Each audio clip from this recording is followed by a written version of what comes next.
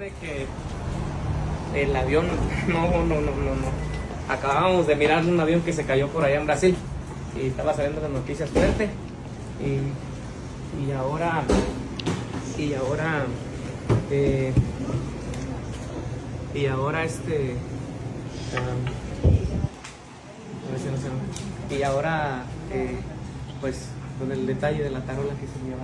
Pero bueno, costó 750, pero pues, este, es un detalle para mañana, ¿cómo lo vamos a hacer para andar consiguiendo tarola? Imagínate que se va. Nah, güey.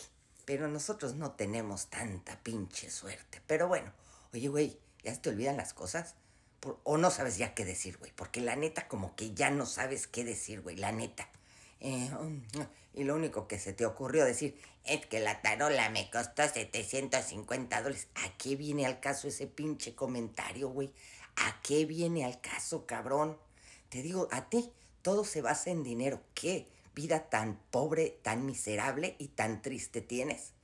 Para nada más pensar en puro dinero, cabrón. En puro dinero, güey.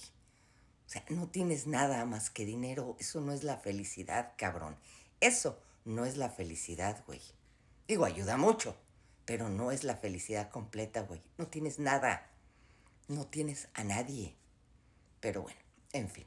Ya saben que por cada like y por cada compartida es un chingas a tu madre para la chepa mitotes de parte de su amiga la Kikis, sincero y honesto.